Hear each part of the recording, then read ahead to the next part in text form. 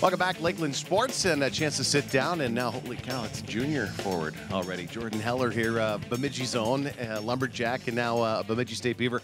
Uh, first of all, uh, going back to last weekend, you know that um, that non-conference rivalry. At one time, they were in the conference, obviously, uh, North Dakota, but a crazy place to play, is it not? Uh, Twelve thousand screaming fans for a couple nights back to back. Yeah, it's crazy playing at North Dakota. I mean, we get there at you know 5:15, and fans are already rolling in the door at 5:30 yeah, puck drop not till seven. So yeah, their uh, their fans are pretty nuts over there. um, you guys had a couple of tough games uh, over there, uh, no doubt. Maybe could have won them uh, both if you get a bounce here or there. What was your thought?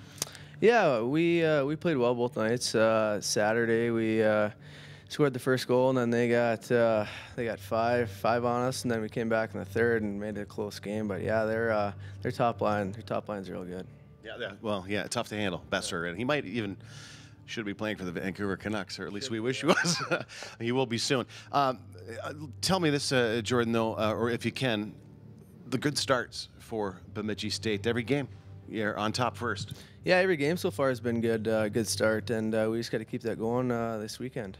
Has it been a um, I don't know, point of emphasis though, that 60 minutes of hockey. I know coaching staffs usually do that, but it seems like you guys are putting it together uh, more consistently this year.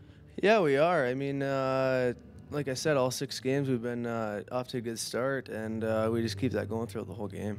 How about uh, you yourself? Your role, um, pretty much the same. Uh, you're a penalty killer. Uh, you're a speed guy.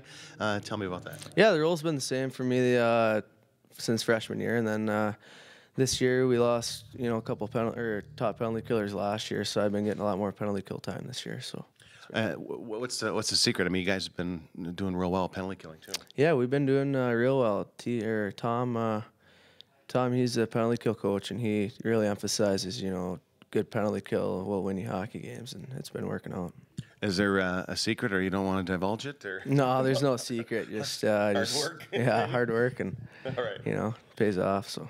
Well, aside from hockey, what are you uh, studying here at Bemidji State? What's your plan? Studying business right now, and uh, I got into business classes last year, and they've been going pretty well so far. So uh, just you know another year of that, and uh, graduate next year. Okay. Any plan for beyond that? Maybe continue your hockey career, hopefully. Yeah, hopefully continue hockey career, and uh, if that doesn't work out, get into you know something with business. And I haven't really fully thought about it yet, but uh, right. hopefully something something in that field taking classes, playing hockey. Yeah, that's about it. Good. Yeah. Excellent. Thanks for this. Thanks for stopping by. Yeah, thank you. All right, Jordan Heller, junior forward here, Bemidji State. Be back in just a moment on Lakeland Sports.